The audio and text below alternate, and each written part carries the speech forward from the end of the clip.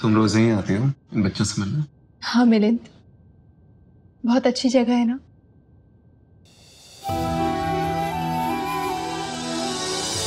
अब इचमाई अपनी तैयारी करती है।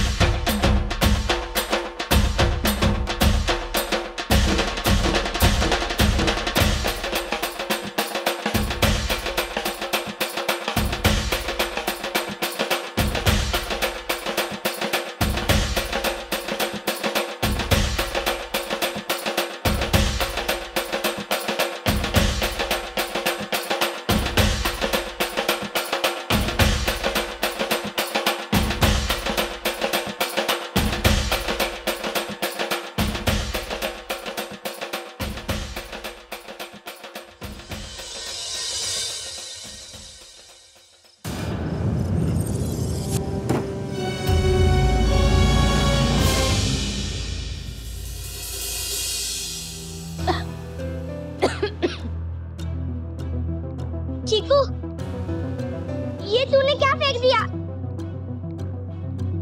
इसी टाइम पे हम लोग को पीछू के दरवाजे से आगे के दरवाजे से वापस आके नुपुर आंटी को सरप्राइज़ देना था ना? हाँ टंकी। अभी निकलते हैं यहाँ से चलो। नुपुर ये अचानक से धुआँ कैसे हो गया कुछ दिख नहीं रहा स्टेज पर। पता नहीं मिलिंद पर हो सकता है ये भी बच्चों के डांस का कुछ हिस्सा हो। बहुत स्मार्ट बच्चे हैं। ये भी इन्हीं की प्लानिंग होगी। तुम सही कह रही थी। क्या? तुम सही कह रही थी कि मैं यहाँ पर आऊँगा बच्चों से मिलूँगा परफॉर्मेंस देखूँगा तो मुझे अच्छा महसूस होगा मुझे। बच्चे बहुत प्यारे हैं। और टैलेंटेड भी हैं। हम्म। आजकल इन्हीं के साथ मेरा टाइम जा रहा है मिलिंद।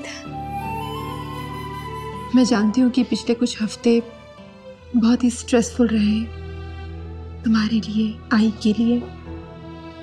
पर मैं सच में चाहती थी कि तुम एक बार यहाँ पर ज़रूर आओ, खुद अपनी आँखों से देखो कि मैं यहाँ पर रोज क्यों आती हूँ।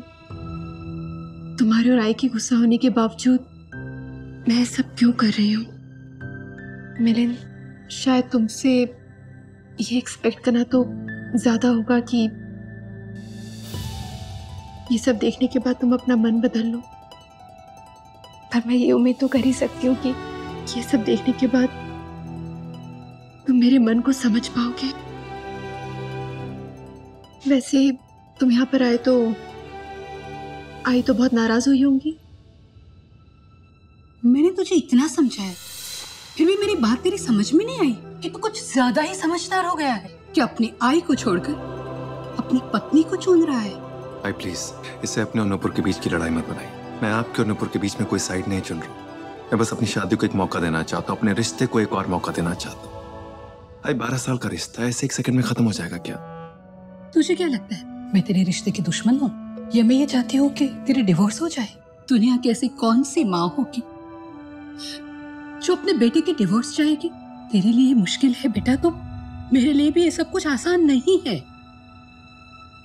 जोशी परिवार में से पहले ऐसा कभी नहीं हुआ।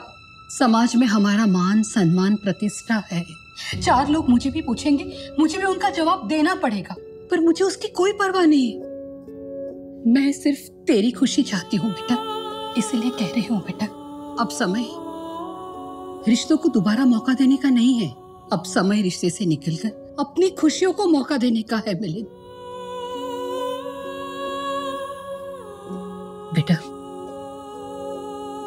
जब एक माँ अपने बच्चे को जन्म देती है ना तो उसे जितना दर्द होता है, उससे भी ज़्यादा दर्द उसे तब होता है जब वो अपने बच्चे को रोते हुए और परेशान होते हुए देखकर उसे होता है। अपनी आई की बात मान ले बेटा, अपनी खुशियों की चिंता कर। मैं तुझे इस तरह से नहीं देख सकती। तू फिर से पिता बनना चाहता है ना? दूसरा बच्चा देने के लिए नुपुर ने तुझे मना कर दिया। संवेदनाओं से जूझने का एक ही तरीका है बेटा। दृढ़ निश्चय। और मैंने हमेशा तुझे यही सिखाया है, बेटा। आई इस मुट्ठी को कैसे बाँध के रखना है? परिवार की रेत को इसमें से कैसे फिसलने नहीं देना ये भी तो आप ही ने सिखाया मुझे। मैंने देखा नहीं है आपके और बाबा के बीच में कितनी प्रॉब्लम्स हुई हैं, लेकिन आपने कभी भी उनका साथ नहीं छोड़ा। बताइए। निभाया ना उनका साथ। अभी बोल नहीं सकते हैं वो, लेकिन फिर भी आप उनकी सारी बातें समझ जाती हैं अच्छे से। तो फिर एक बात बताइए, अपने बारह साल के रिश्ते को अपनी बारह साल की शादी को एक मौका तक ना दूँ। मैंने आपसे ही सीखा है रिश्ते निभाना। मैं आपके खिलाफ नहीं जा रहा हूँ। जो आपने सिखाया है बस उसी को फॉलो कर रहा हूँ। मैं बस अपनी शादी को, अपने रिश्ते को एक मौका देना चाहता हूँ। इतना तो बनता है प्लीज़ प्लीज़ मुझे जाने दीजिए। मिलिन मैंने आज तक तेरे बाबा का साथ इसीलिए नहीं छोड़ा। क्योंकि जब जब हम एक दूसरे की ज़रूरत पड़ी, हम एक दूसरे के साथ खड़े रहे। नुपुर ने तेरे साथ ऐसा नहीं किया, बेटा। जब जब तुझे नुपुर की ज़रूरत थी, उसने तुझे अकेला छोड़ दिया। फिर भी तू जाना चाहता है, जा बेटा। पर मेरी एक बात याद रखना, बेटा। जब जब तू नुपुर के पास जाने की कोशिश करेगा, तुझे चोट, दर्द और तकलीफ़ ही मिलेगी। नुपुर आंटी सोचेंगे किधर गए हम। मस्त सरप्राइज़ करेंगे उनको। मज़ा आएगा। चलो चलो।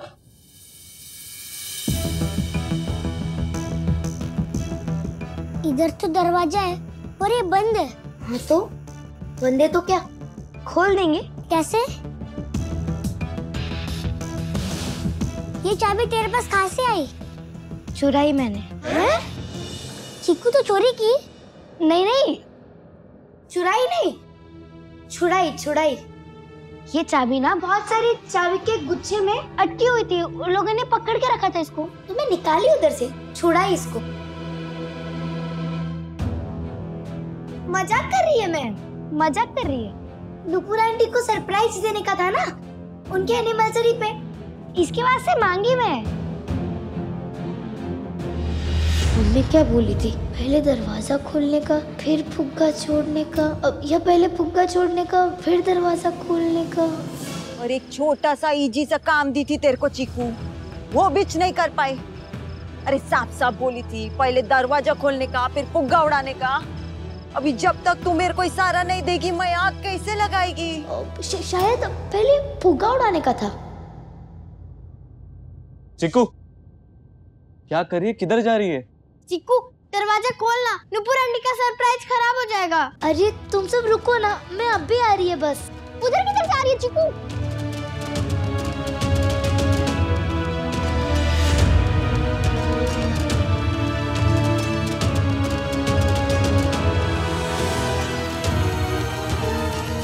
सब पास चीकू मेरे को तेरे से यही उम्मीद थी। छोड़ दरवाज़ा खुल चुका है। सब पास। चीकू अभी तूने अपना काम किया ना? अभी मैं अपना काम करेगी।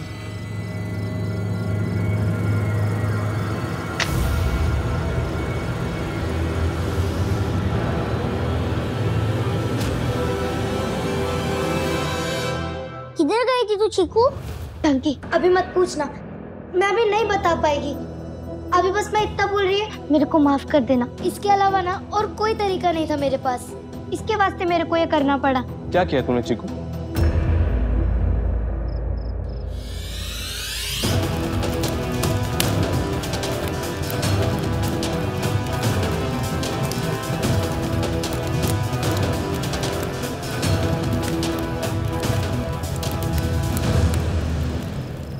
किसका तरीका क्या बोल रही है तू?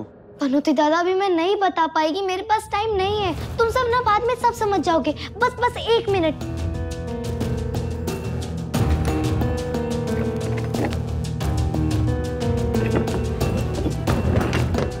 Thank you Bappa ji.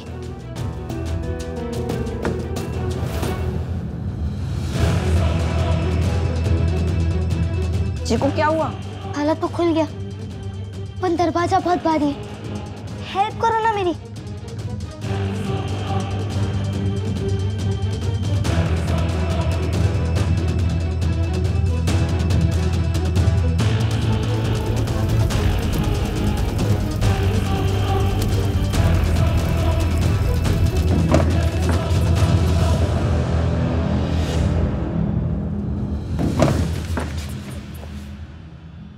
अरे, ये दरवाज़ा भारी नहीं है, तुम लोगों का दिमाग हल्का है।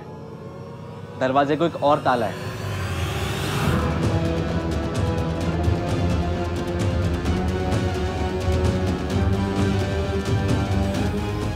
देवा, चीकू अभी तक बच्चा लोग को लेकर काय को नहीं आई? चीकू!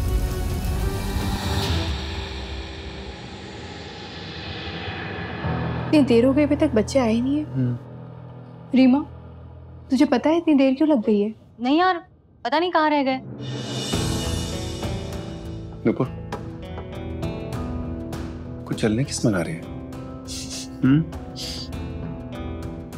मैम मैम बिल्डिंग में आग लग चुकी है। क्या?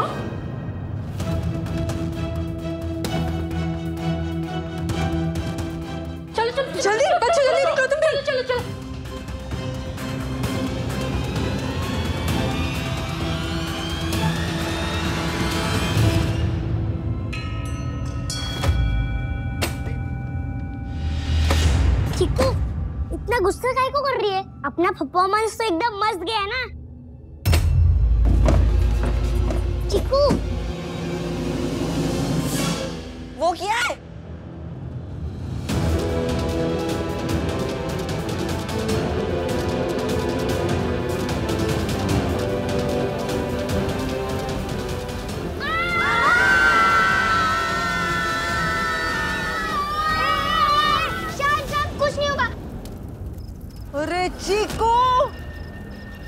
चीकू दरवाज़ा खोल दरवाज़ा खोल। मेरे पास एक ही चांस है। मेरे प्लान को मत चौपट कर कैसे भी करके दरवाज़ा खोल के बच्चे लोग को बाहर लेकर किधर रह गई?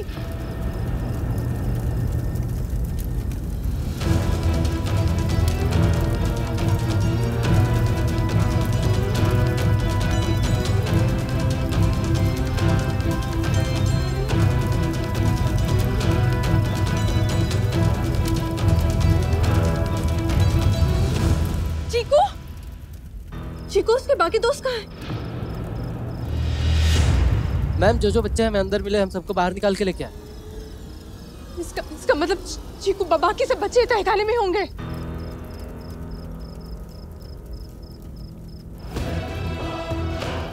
चलो। अंदर चीकू? किधर रह गई चीकू?